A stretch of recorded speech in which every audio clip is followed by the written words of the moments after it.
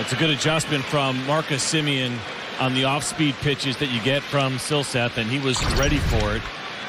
And take a look at this split mentioned in the strike zone. It's not a good pitch. It's a great pitch at the very bottom or below, but you leave it in the zone and it becomes very hittable. And of course, Marcus had seen the slider earlier, went curveball, slider again, and then to the split finger, but right in the zone. And the hard hit ball rate continues to go up for Marcus.